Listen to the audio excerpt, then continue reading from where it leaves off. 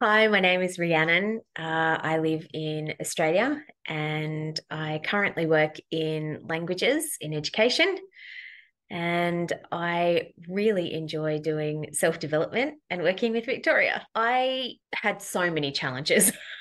Probably my biggest challenge was I just felt stuck and I couldn't figure out what I was stuck about and where I needed to go and what I needed to do. I just felt completely out of sync with my world. That stuckness wasn't good.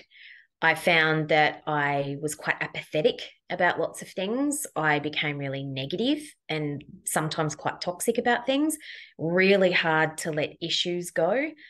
And it just it seemed to affect everything. You know, I I kind of wanted to hide away and be a bit like a hermit, you know, just watch TV or play on my phone, all the things that aren't good for me, rather than do the things that are good for me that would help me get out of that stuckness. So it wasn't good. So much has changed as a result of doing the Chrysalis program. Victoria was absolutely fantastic. She supported me the whole way through. The group was fantastic. They supported me the whole way through.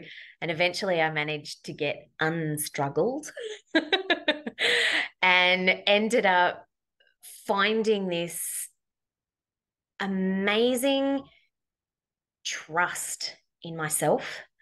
And for me, that's a really big thing. I don't trust others very easily, but I forget to trust myself. And I've learned to kind of come out of my shell a bit more. I stand up for myself a bit more. I don't let people walk all over me. Um, I have managed to be offered vice president of my Herb Society Club, which is uber exciting. Uh, I was also asked to be a foundational member of a brand new school that's about to be built, which is uber exciting. They're things that I have come, I believe, as a result of participating in the Chrysalis. I really enjoyed the process because my cohort were an amazing set of women. Like they were just phenomenal.